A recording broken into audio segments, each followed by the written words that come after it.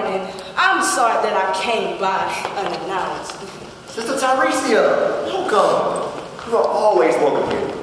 How are you? I'm physically well, at least one can be. But however, my spirit is uneasy. What's the matter? I have news and advice if you'll take it.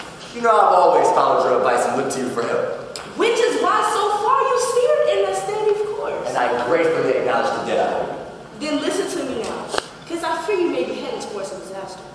Indeed. Well then, good sister, don't let me hold you up. Tell me your news. As I sat in the sanctuary, deep in meditation, the Spirit came to me in visions of birds, vicious combat, savage cries, and deadly tongues full of foreboding and death. My body began to quake. Creon, this is a warning. All men fall into sin, but one doesn't have to stay in sin forever if he is willing to repent. My friend, those birds were Oedipus' sons, and the Spirit urges me to tell you to respect those that follow. There is no glory killing and killing again. I can't believe this. You're just like everyone else. Coming in here and telling me that I have to get some funeral for a grand costume. You been working with that woman? Absolutely not. Absolutely not. There's no more to make the difference between good and evil anymore. I would have thought past it. A prophet would. Here we go again. What was that? It's just that the men in this office have a tendency to disregard me when I come to them with warnings. Look, I'm not trying to argue with you, sister, but come on. You can't seriously be suggesting that God wants me to give a funeral to Polynices.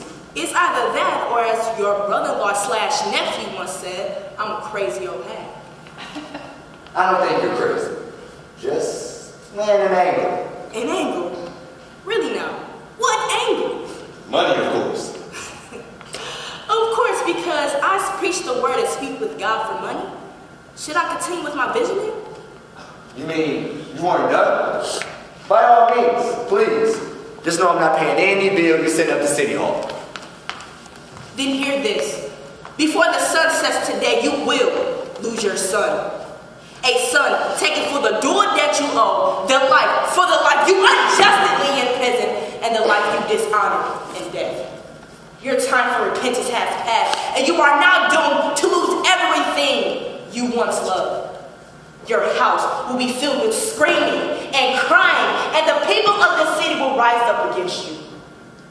You have become like Oedipus, puffed up in your own pride, and like him, no one can save you now. Come on, someone help me out. Let's let him leave his, his anger on some younger.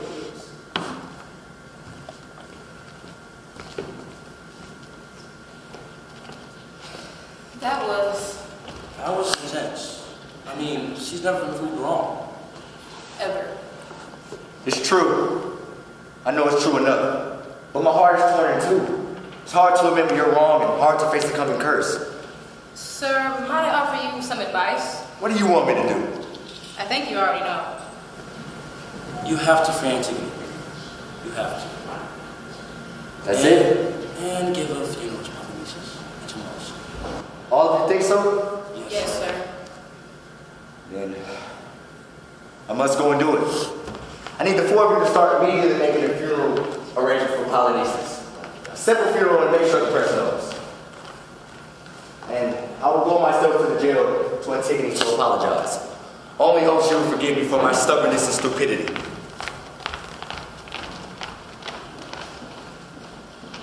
Good morning, everyone. How's everything? Have you seen my husband about? He just left to head over to the prison. Is he changing his mind about Antigone? Good. That poor girl. I knew Creon was being ridiculous about her. But you know when he gets in his moods, you can't tell me nothing.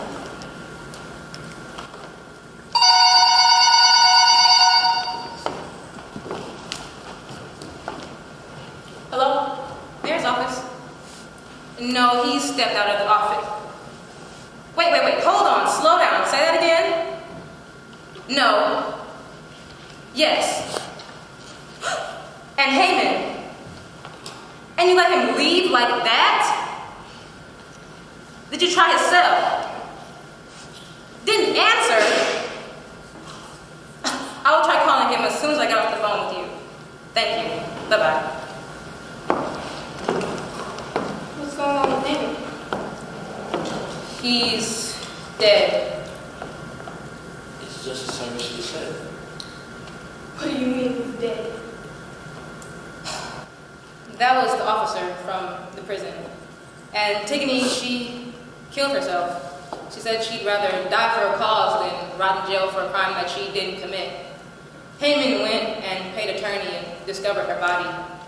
He broke down sobbing and cursed his father. When the guards that was with him went to go find Creon, it was too late. They had already told him the news.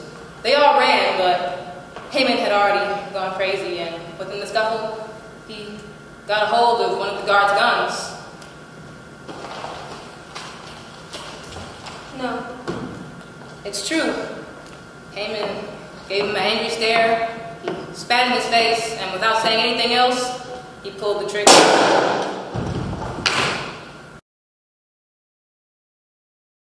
He died like right there next to Antigone.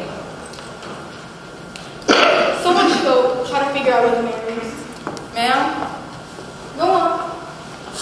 Someone should inform the police where the man is. Yes, ma'am.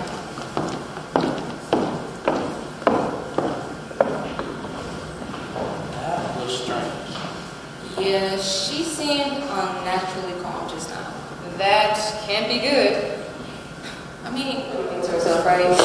She's not like Jocasta. I don't know. I just got a feeling pit in my stomach something's bad going on. I'm gonna go first. Good idea.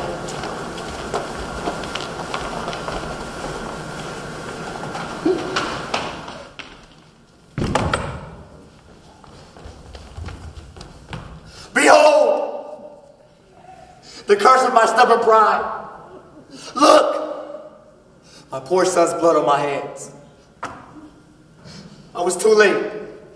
Too late to stop her and not strong enough to stop him. And now they're both dead and it's all my fault.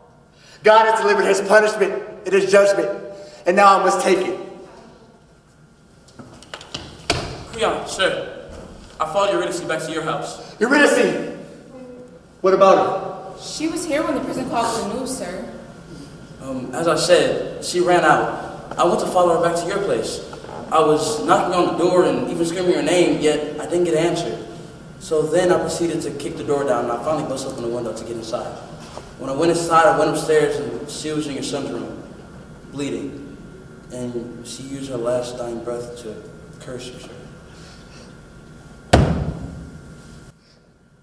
Is there no hope for me? I'm nothing now. Is there a gun for me to end this misery? Wife and son, gone. Gone in the same day. Oh God, end this miserable life! Oh God. Such a price to such a price to pay for such a lesson. It's a cruel irony that stubborn righteousness has brought about such wickedness. Come, we have funeral preparations to make.